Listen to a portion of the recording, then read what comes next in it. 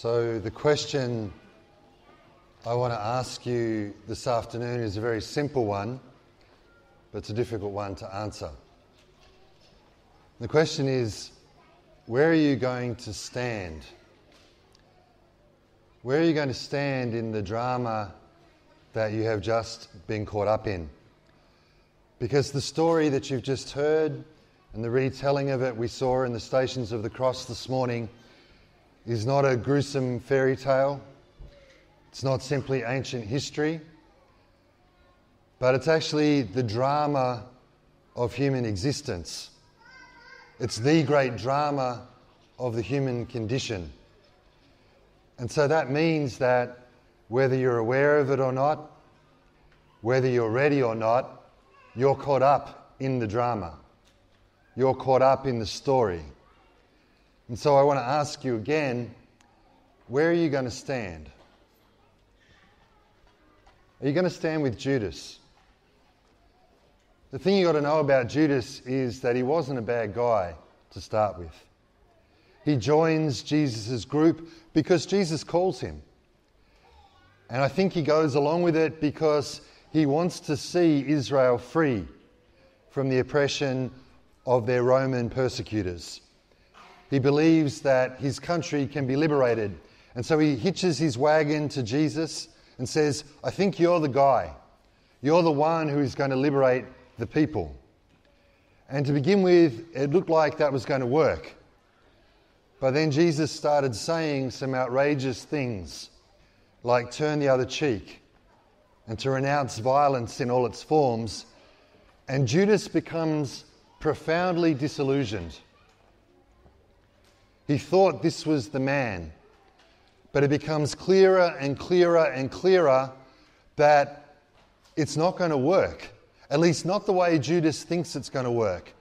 He thought that the Romans would run out of Israel, tail between their legs. And instead, what becomes clearer and clearer is that it's his group that is going to lose. And so Judas makes a very clever political decision. He says, I'm out of here, and to protect myself, I'm going to sell Jesus out. And so, for 30 pieces of silver, he dismisses the logic of love, the logic of peace that Jesus had come to bring and decides instead for the logic of the market. And he reduces Jesus to a commodity and says, 30 pieces of silver will be enough for me to look after myself and enough for him to be sold. And we're told that in the other Gospels, that when he realizes what he has done, he falls into a profound despair. So, will you stand with Judas? I think we stand with Judas when God doesn't meet our expectations and we find ourselves disillusioned, thinking that the God that we have worshipped has somehow disappointed us.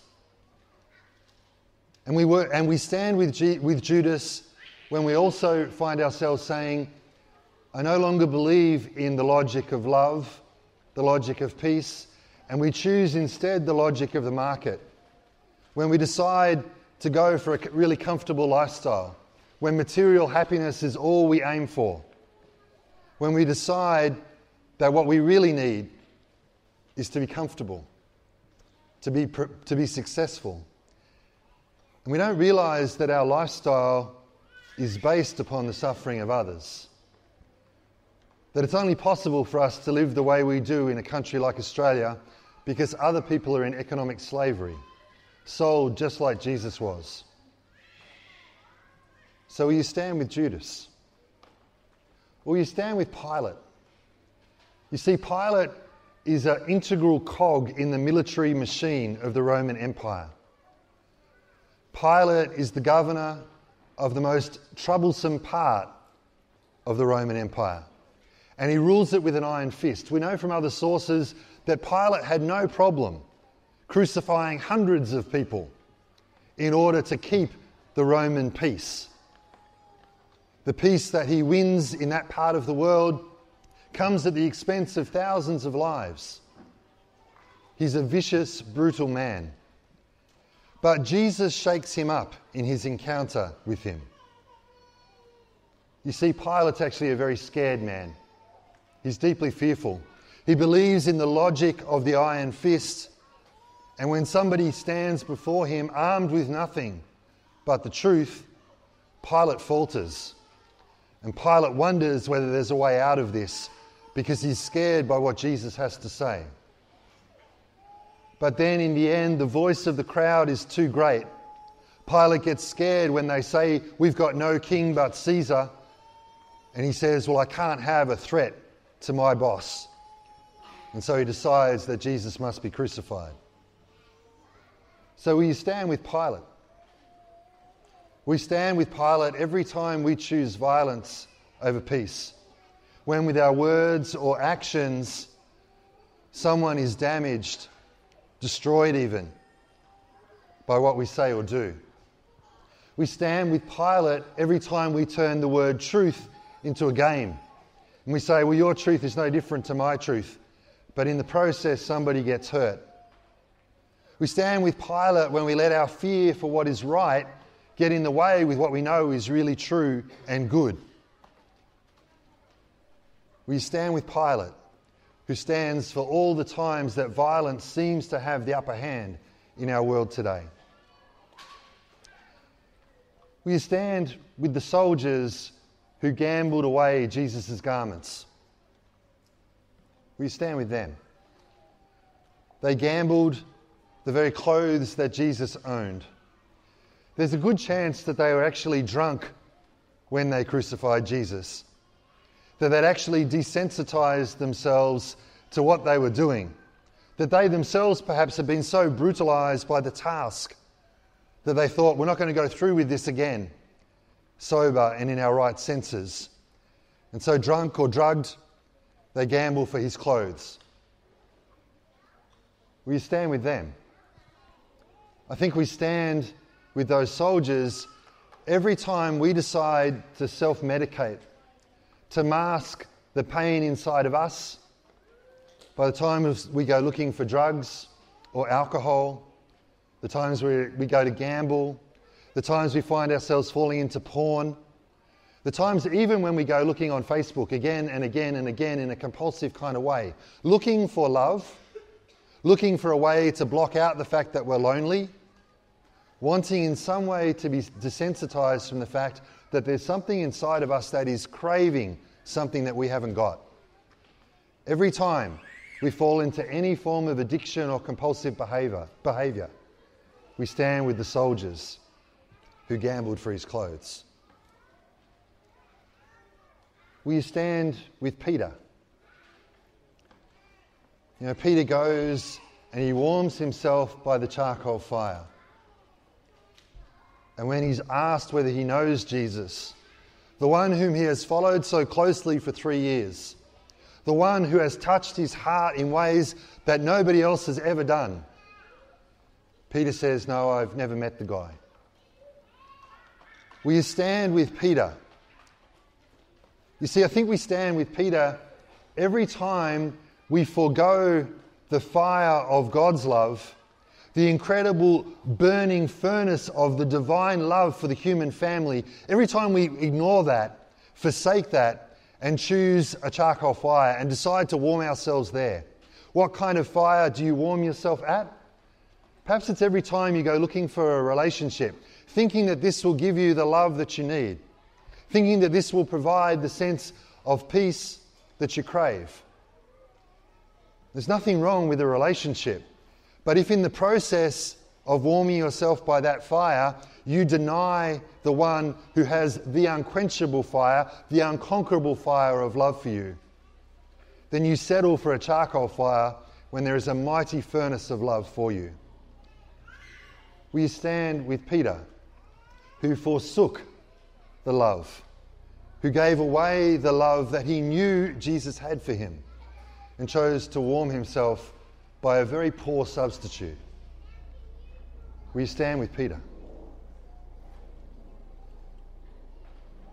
Or will you stand at the foot of the cross? Will you stand today at the foot of the cross? You see, it's at the foot of the cross that we hear Jesus speak to us. None of the people I have just mentioned could hear Jesus talking to them from the cross. But upon the cross, Jesus speaks to them. And that means he speaks to you and me as well. And he says to us, those of us who are willing to dare to stand at the foot of the cross, he says, I thirst. What does he thirst for? What's that mean? It means that he loved you, that he desired you, that God loved you, that God desired you, even when you were standing in the wrong spot, even when we were standing with Judas, and even when we were standing with Pilate, and even when we were standing with the soldiers or with Peter. He loved you there. He didn't wait for you to come to the foot of the cross. He loved you when you were outside, when you were with those who would not come to the foot of the cross. He loved you at that moment and all of those moments in your life. When he says from the cross, I thirst, he's saying with the, all of the love in his human heart that the, reflects the very heart of God, I loved you when you had run away from me. I loved you when you denied me. I loved you when you betrayed me. I loved you there. I, love, I loved you when you thought you were as far as you could possibly go. I loved you there. That's what his thirst for us means. That's what it means when he says from the cross, I thirst. He wasn't just physically thirsty, he wanted you. He wanted me. He wanted every human heart, every human being. He wanted us to know that He loved us even when, and especially when, we did not love Him back. And from the cross, He also says to us, as He dies, that it's finished. What's that mean? Again, it's a word of incredible love. We were told last night in the readings, and Father Dave picked it up, that Jesus loved us to the end. And it's the same word when he says it's finished. What he means is simply this that he loved you enough to actually stand in your place. You see, when he died upon the cross, that wasn't just the end of his earthly life, but it was the end result. It was the destination that we come to when we choose to stand anywhere else but at the foot of the cross. When you choose to stand somewhere else than at the foot of the cross, the consequence of that, the inexorable logic of that, the way it works out in human history is that people are miserable, that people are hurt and broken, that lives are smashed, that people experience the destruction of relationship. It means incredible loneliness. It's actually a foretaste of hell. Sometimes, in the imagery of the church, when we see people paint what hell might look like, they use the imagery of the fires of hell. But one of the great Christian poets, Dante, when he came to draw hell, when he came to paint a portrait of it, he paints the devil in beautiful words. He paints the devil as actually being encased in ice and weeping in incredible loneliness. When we sin, when we stand in the wrong spot, it's not that we are being punished, but that the very effect of sin itself makes us definitively lonely, isolated, divided, separated. Everything that God would not want for us. The complete contrary of his purpose and plan for us. And so when Jesus says it's finished, he takes your place. He stands where you and I should have stood. And in that action, He makes it possible for us to be forgiven, for relationships to be restored, for people's lives to be put back together, for people to know that love that has no end, to know a love that is unconquerable, a love that can be never be defeated.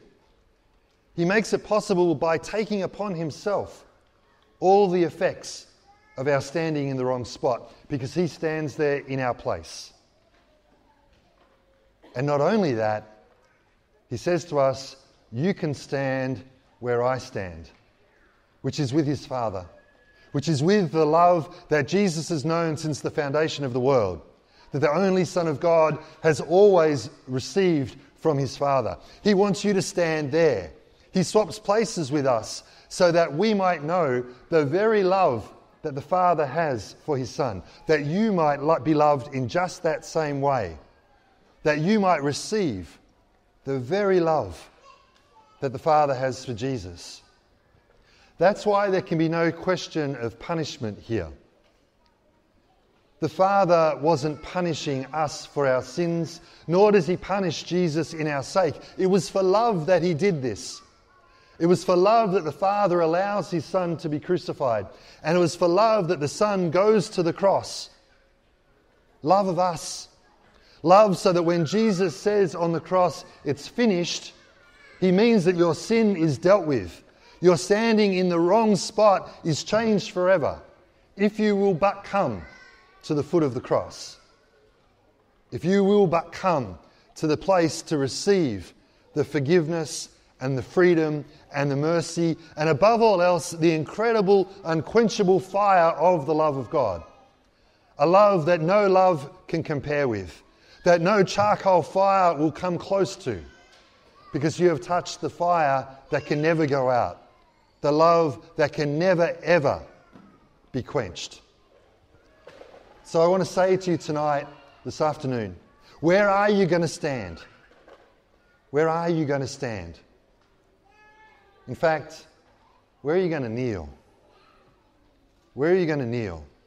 Because in the face of such love, in the light of such love, you can move. We have all stood with someone other than Jesus. We've all stood in places other than the foot of the cross. But you and I can move, my brothers and sisters. We can move this afternoon. We can move to the foot of the cross and we can kneel there to find the love that we have been searching for, the love that has sent us looking in all sorts of spots, the love that we're made for and the love that Jesus came to bring. When he says it's finished, it's because he's done everything necessary for you and I to know and receive that love. Come to the foot of the cross this afternoon. Come and kneel before the cross of our Lord Jesus Christ.